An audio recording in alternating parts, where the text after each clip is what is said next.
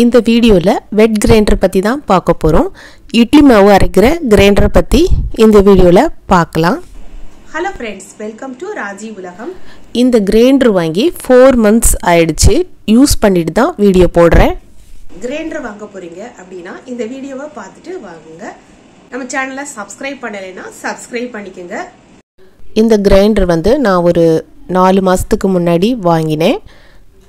Use பண்ணிக்கிட்டு இருக்கிறேன் இப்போது வீடியோ எடுத்து ரொம்ப நாள் ஆச்சு இப்போ தான் நான் வந்து வீடியோ போடுறேன். இந்த கிரைண்டர் பார்த்திங்கன்னா ரொம்ப லைட் வெயிட்டாக இருக்குது.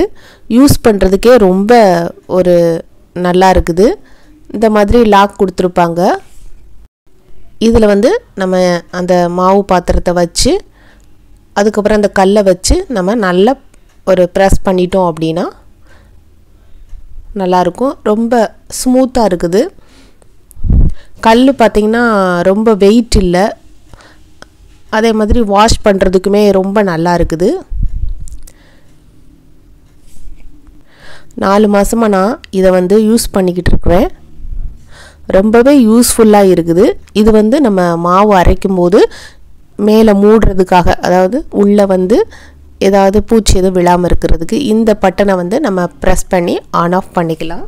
இந்த பிளாஸ்டிக் வந்து இது மேலே வந்து நம்ம மாவு அரைச்ச உடனே அந்த கல்லை அப்படியே டாப்பில் தூக்கி வச்சு அதில் இருக்கிற மாவை வலித்து பாத்திரத்தில் போடுறதுக்காக கொடுத்துருக்குறாங்க. இது வந்து லைட் வெயிட்டாக இருக்கிறனால தூக்குறதுக்கு ரொம்பவே ஈஸியாக இருக்குது.